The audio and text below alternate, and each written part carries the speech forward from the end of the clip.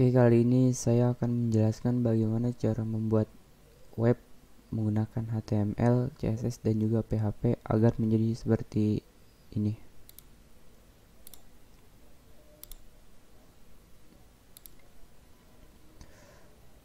Oke, yang pertama-tama kita download dulu XAMPP. Setelah download, diinstal lalu kita buka kita buka lokal disk C terus kita masuk ke XAMPP nya lalu kita pilih htdocs dan juga kita buat folder baru. Misalnya kita tulis website untuk dibuat nanti codingannya. Lalu kita kita buat folder image untuk menaruh gambar dan konten untuk menaruh konten kita buka VS Code.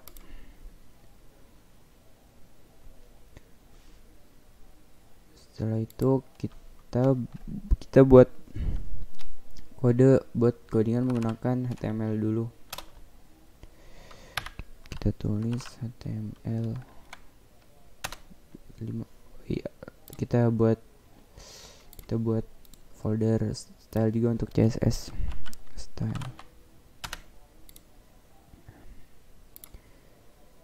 ini kita tulis. Kita akan mencoba untuk membuat website travel. Berarti kita tulis nama travelnya. Airwave travel. Kita save.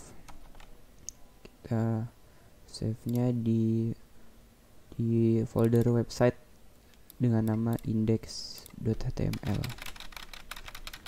index save lalu kita buat new file lagi kita buat css css kita buat css itu kita save.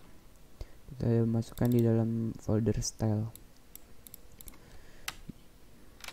Style.css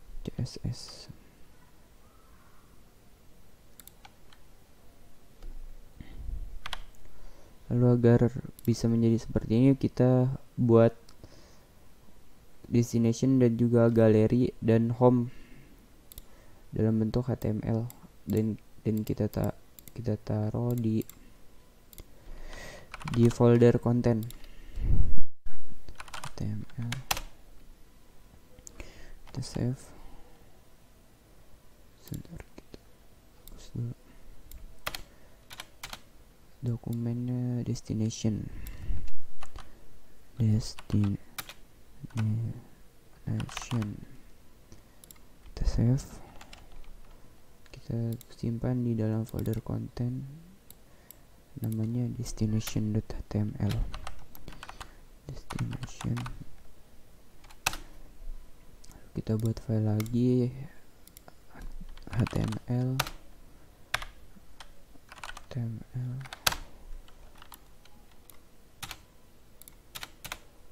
namanya galeri. Untuk untuk menyimpan gambar galeri. Kita save. Kita taruh di konten galeri. Lalu kita buat file lagi html itu untuk home untuk tampilan awal di di sini home home kita save tulis home.html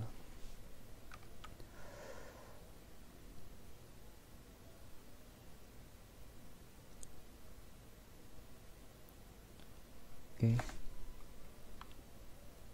terima kasih